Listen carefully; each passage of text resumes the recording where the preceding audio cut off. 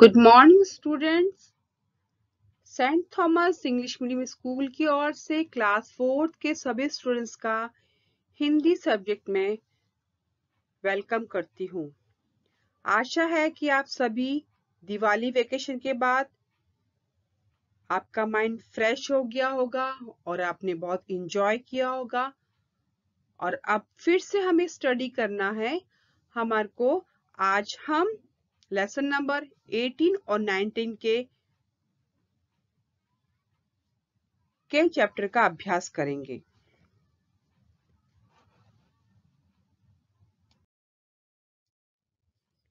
Part अठारह, इन्हें पहचानिए।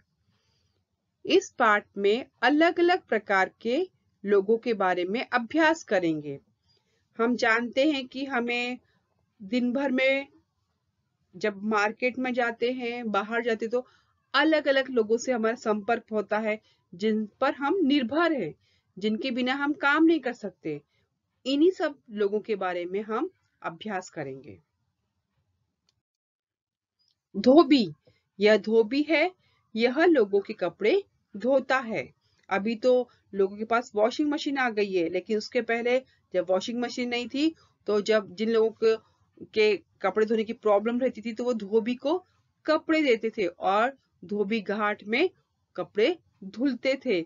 आज भी बहुत सारे अस्पतालों के कपड़े हैं या बड़ी बड़ी होटल के जो कपड़े होते हैं, वो धोबी घाट में जाते हैं और वहाँ वो धुलते हैं और उसके बाद में धोबी उन्हें प्रेस करके वापस भेजता है। तो धोबी कपड़ों को प्रेस करता है और कपड़ों को धोता भी है। माली यह माली है, यह पौधों को देखभाल करता है। यह हार, वेणी, गजरे आदि बनाता है। हमने देखा होगा बगीचे में माली को काम करते हुए तो माली क्या काम करता है? पौधों की देखभाल करता है, उसके साथ में उनको खाद देता है, उनकी कटिंग करता है और उनकी रखवाली भी करता है। और ये हार, वेणी, गजरे आदि बनाकर बेचता भी है। तो देखो हमारे जीवन में धोबी का भी काम है। धोबी हमारे आ, कपड़े प्रेस करके देता है धोबी कपड़े धोता है। माली जो है पौधों को संभालता है खाद डालता है दवाइयाँ डालता है और हरियाली को लाता है। कुंभार ये कुंभार है जो मिट्टी के बर्तन को बनाता है और साथ में खिलौने भी बनाता है। ये जो है मिट्टी के बर्तनों के अंदर मटके को, सुराही को बनाता है। मटके से हमें ठंडा पानी पीने को मिलता है, जो नेचुरल ठंडा होता है, बिना फ्रिज का। और हमें वो बहुत मीठा लगता है। तो कुम्हार जो है, मिट्टी के बर्तन बनाता है। अगर कुम्हार नहीं हो तो हमें मटका नहीं मिलेगा। तो इसीलिए कहा है, हर व्यक्ति का हमारे जीवन में महत्वपूर्ण स्थान है, जो हमारी हेल्प करते हैं। मोची, यह मोची है। यह चप्पल जूते बनाता है और उनकी मरम्मत भी करता है। मतलब मोची जो है, चप्पल और जूतों को बनाता भी है और जो टूट जाते हैं, उनको सिलता भी है और सुधारता भी है। और ये लोग बहुत अधिक कम कीमत में भी हमारी सेवा, हमको सेवा प्रदान करते हैं। लोग दस रुपए के लिए भी लड़ाई करते हैं, लेकिन आपको सोचना चाहिए उसको कितना कम काम मिलता है तो अगर वो माँगता है तो हमें दे देना चाहिए। अब नाई, ये नाई है। ये नाई जो है, बड़े के, बच्चों के, सबके बालों को काटता है और उनको बनाता है या सवारता है। इसे हजाम भी कहते हैं। आजकल तो बहुत सारी स्टाइलें आ गई बॉयज़ की। हाँ तपेली कट तो ये कट तो जो नाई है स्टाइल वाले बालों को बनाता है और आपको सुंदर बनाता है बच्चों। तो ये नाई है। अब दर्जी, यह दर्जी है। यह दर्जी कपड़े सिलता है और कपड़े कपड़े सिलकर लोगों को स्टाइलिश बनाता है। लो, लोहार यह लोहार है। यह लोहे की चीज़ें बनाता है। जैसे शंशी है, चिमटा है लोहे का लोहे का तवा है, फिर आप देख सकते हैं पक्कड़ है, पिंची से, बहुत सारी चीज़ें हैं जो ये बनाता है और लोगों की सेवा करता है। सुनार, ये सुनार है, ये सोने चांदी के गहने बनाता है। आपके मम्मी, दादी सब सुंदर सुंदर गहने पहनते तो कौन बनाता है ये सुंदर सुंदर गहने? सुनार बनाता है। और मम्मी और दादी और नानी सुंदर सुंदर दिखने लगते हैं। हलवाई, ये हलवाई है। ये तरह तरह की मिठाइयाँ बनाता है और सभी के मुँह में पानी आ जाता है। मम्मी ये मिठाई खाना है। मम्मी वो मिठाई तो क्या है?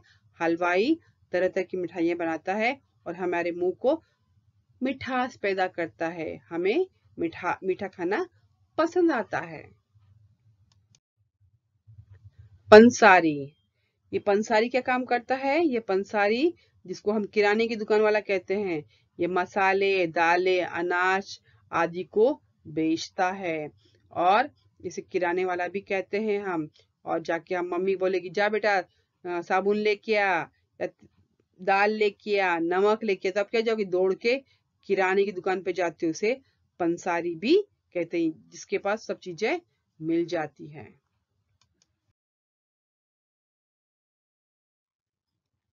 राजगीर।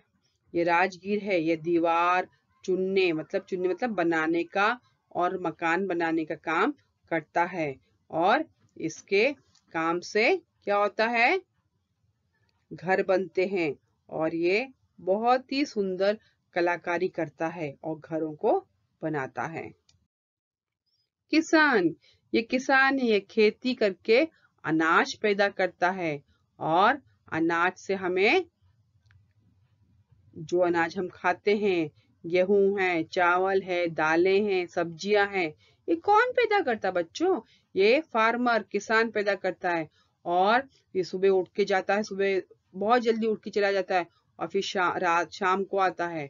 बहुत मेहनत करते इसलिए बोलते हैं हमें खाने को वेस्ट नहीं करना है खाने को फेंकना नहीं और छोड़ना भी नहीं चाहिए। जितना खाना है उससे खाना उतना ही खाना खाना चाहिए। सोचो किसान लोग कितनी मेहनत करते हैं, उसके बाद आपके पेरेंट्स कितनी मेहनत करते हैं अनाज को लेके आने में तो आपको सोच समझ के जितना खाना है, उतना ही खाना खाना चाहिए। अब पार्ट 19 लेसन नंबर 19 मेरी साइकिल इसका नाम है रोमिल।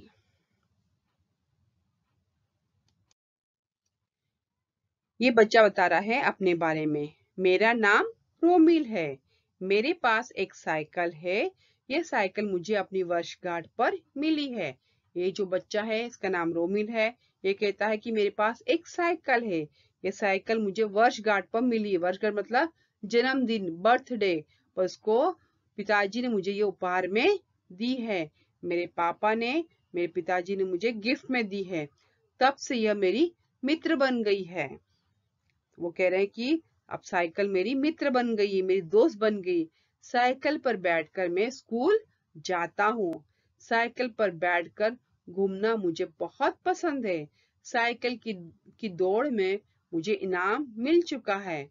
मैं उसे पवन परी कहता हूँ। जब वह जब चलती है, तब हवा से बातें करती मेरी साइकिल मुझे बहुत प्रिय है। रोमिल क्या कह रहा है? कि जो मेरी साइकिल है, वो मेरी मित्र बन गई है। अभी तो बच्चों की मित्र कौन बन गया है? मोबाइल बन गया टीवी भी नहीं रहा।